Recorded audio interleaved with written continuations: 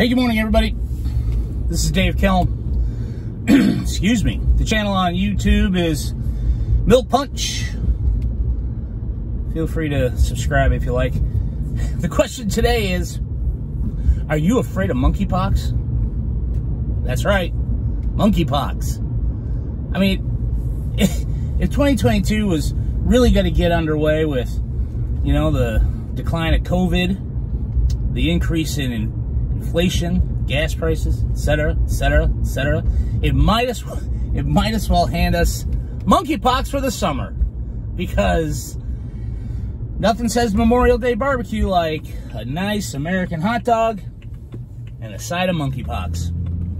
So, are you afraid of monkeypox?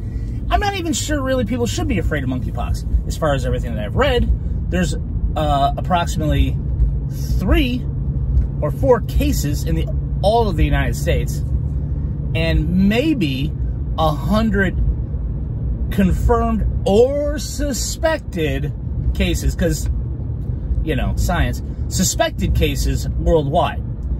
And I looked this morning, and as far as I could tell, there may be one, one death suspected. Not really confirmed. Because monkeypox is a lot like chickenpox, except it looks grosser, maybe. I don't know. I don't remember chickenpox. I had chickenpox as a kid. I don't remember what it looks like. My kids had chickenpox, but they didn't have like huge, gross outbreaks.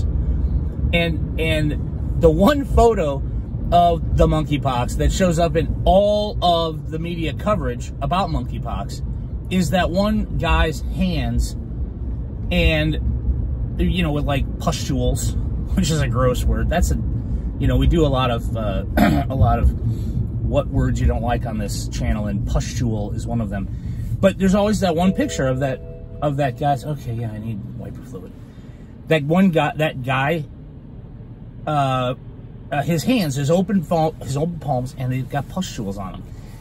And first, when I saw that picture, I thought, man, that guy's got a lot of calluses. I thought they looked like like calluses, like he'd been working all day, and you know, his, his, his he ripped up his hands. That's what I thought.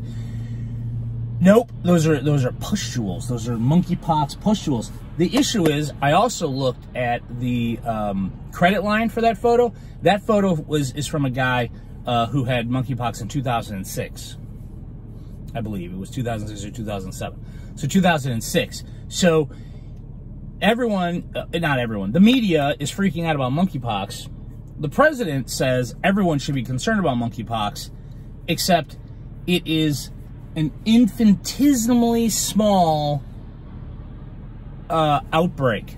And it's not, it's like two guys, five guys, four people, six people. It's, it's ridiculously small. And clearly, uh, the CDC and and uh, other health officials, the World Health Organization, Association, whatever, they all have an understanding that this is out there. But I think it's the word monkeypox, right? Monkeypox. Does that make you concerned? It's the word, not the actual disease that has the the national media captured by this potential next cataclysmic outbreak. Anyway, Hope you're having a great week. Stay safe. We'll talk to you soon.